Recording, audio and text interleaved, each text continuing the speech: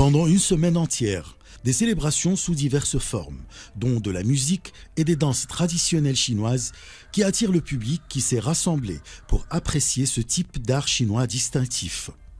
Des expositions d'artisanat traditionnel ainsi que des ateliers d'échange d'artisanat témoignent d'un grand rassemblement des citoyens ainsi que des responsables chinois et marocains. Nous avons organisé euh, la fête du Nouvel An à Rabat, en particulier dans l'ancien Médina, euh, euh, en face du site euh. Alors si nous organisons cet événement culturel dans l'ancien Médina, vous, vous, le savez sans doute, l'ancien Médina occupe une place très importante dans euh, la culture marocaine. Comme je vous ai dit tout à l'heure, c'est un site très significatif.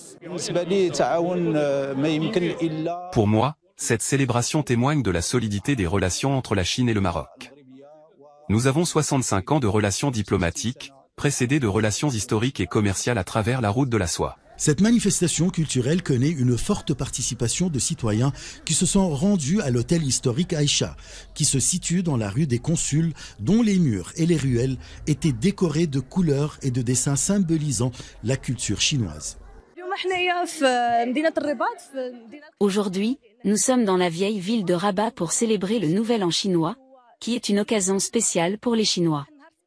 Cela exprime la communication et le rapprochement entre le peuple chinois et le peuple marocain, et à cette occasion je souhaite une bonne année à tous les Chinois.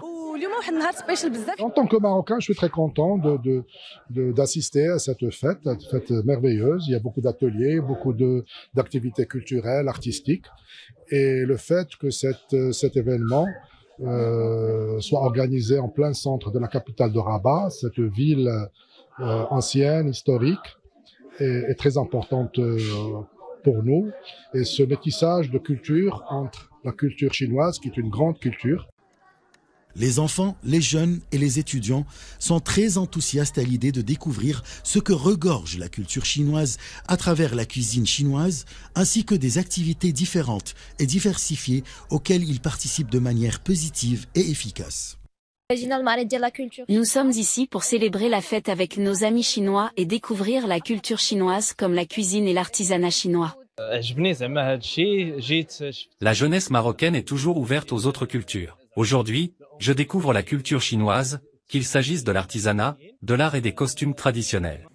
L'événement contribue également à la relance du boom commercial et économique de la vieille ville au centre de la capitale Rabat, en raison de l'intérêt des touristes et des citoyens pour les différents aspects de cet événement qui représente la culture chinoise. Ashraf Massoud pour CGT1 français.